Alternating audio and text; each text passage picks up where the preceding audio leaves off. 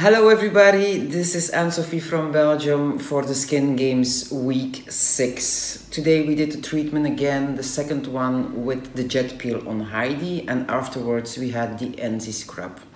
Next week we do our final peeling of a 2B Bio Beauty, and then we will have the results for the end of our games. Uh, we wish you a Merry Christmas everywhere around the world, and we hope to see you again next week. Bye.